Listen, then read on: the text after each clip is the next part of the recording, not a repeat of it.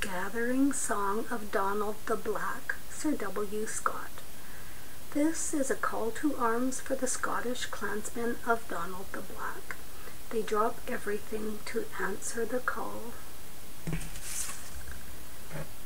Gathering Song of Donald the Black.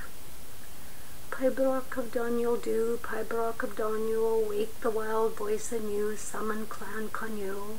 Come away, come away, hark to the summons, come in your war array, gentles and commons.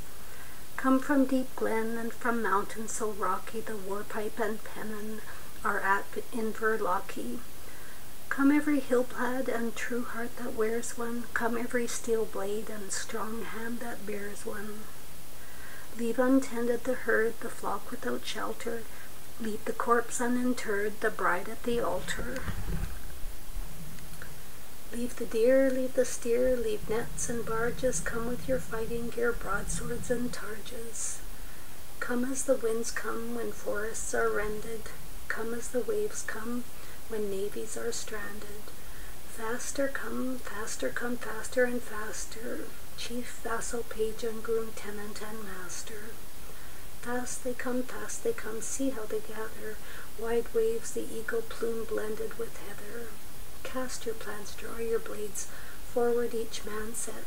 pay Pibroch of Donuil Dhu, now for the onset.